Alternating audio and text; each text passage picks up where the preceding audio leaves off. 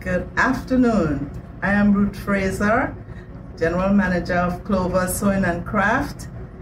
I am here to tell you a little bit about our summer program, the third summer program we have had. Uh, the children were doing many skills, learning many skills, and it is my pleasure. I'm really happy about the skills that they, they have learned over the two months. Some students were here for one month, some two months. However, they did basically sewing mainly, but we also did lots of crafts. We did some batik, some macrame, we did Christmas ornaments, we did a little quilting on a lower scale, and but a lot of sewing.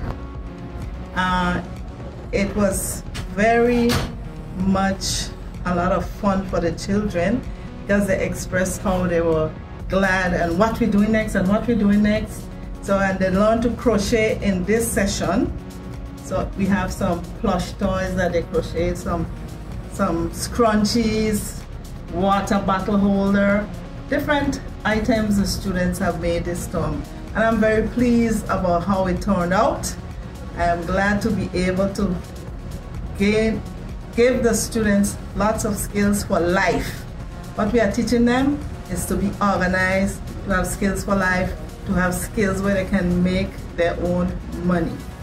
So it has been a pleasure again, our third annual summer camp, Clover Sewing and Craft.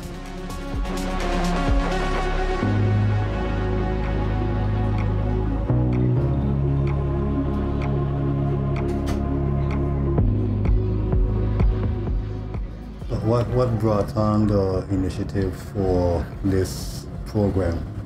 Well, actually, this has been a mandate from God Himself said to me, teach the young people the skills. And I have been really trying to do that for the past three years. This is our third year doing it. And I can say the children have learned quite a lot, especially in the sewing area. For the basic sewing, we start with the hand stitches and then we go on to the sewing machine. Well, we teach them to do two different types of hems. We teach them basting and permanent and temporary stitches. And then we teach them two types of hems. And then we move on to the sewing machine, which is the fun for them. So they have a lot of practice gaining control of the sewing machine. And then the first project is a drawstring bag. And then we move on, they make a cushion, they make a neck pillow, and they make different things on the machine. And we are hoping that they will continue to get more and more skills in this area. Now, I have other people that work with me. I have a lady that teaches the macrame.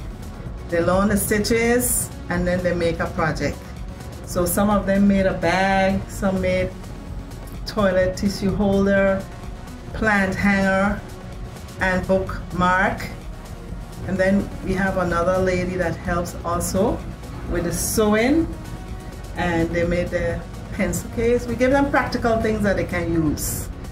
Fabric boxes, things that they will be able to use to, you know, as they live their lives. And they'll be able to do more and more for themselves. Then we had another young lady that was in the program last year, and I said to her, You're going to come back as an instructor next year. And she was right here, all excited, teaching them to crochet, doing different crafts with them, the Christmas ornaments and different things. She was very, very helpful in this summer program. So I'm not alone doing it. I have quite another lady that helps me with the craft area and she volunteers to help me with the craft with them. And they do quite a bit with her. So they have fun over all in all because she will do like the tie-dye the pencil case different things she will do with them. But she more works with recycled items. And so we do things from scratch and we do recycling. Okay. so um, how how intuitive was the kids were learning well, the kids were very interested, I would say. They, they wanted to come, and then the feedback from some of their parents said that the, the children were all anxious to come, and and I could see that they were. You know, sometimes when they have to rip out something, they don't want to do it, but it's all part of learning. Hi, my name is Olivia Hodge, and I learned how to crochet, how to knit, and how to sew clothes on the machine and with hand, and hand sewing. So how do you enjoy the actual program? Yeah, it's, it's really fun. Yeah, so the people in there are really nice and they have patience to take time with you if you need to like take more time to learn something as everyone else.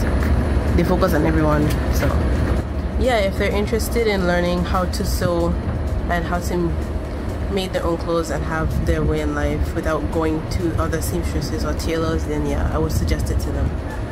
It's an annual event and we are even considering the Easter break, depending on how that would go or when school would close for Christmas, maybe. But it's something that we're thinking about adding because a lot of persons uh, contact me and said, I don't have anything to do with my children for the Easter and you're not doing anything and you know, so we try our best. How can people find you?